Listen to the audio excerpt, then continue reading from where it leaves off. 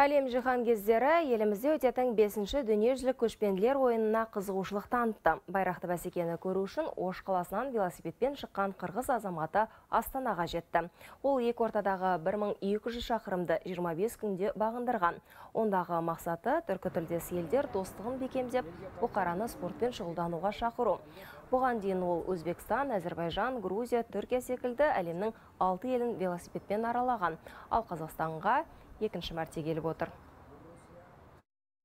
Астана бір топ өзгеріп азыр дубайда астана қысқа уақыт ішінде өте қатты өзгерген. Соңғы рет 2017 жылы келіп едім. Қала көркейіп құлпыра түскен. Әрине 1200 шақырымды велосипедпен жүріп өту оңай болған жоқ. Жол жөнекей кездескен адамдар да осы мақсатымды іске асыруға барынша қолғабыс танытты. Енді қытай еліне велосипедпен жетсем деген арманым бар. Ал бұл жолғы жорығымды қырғыз қазақ халықтарының бауырластығына арнадым.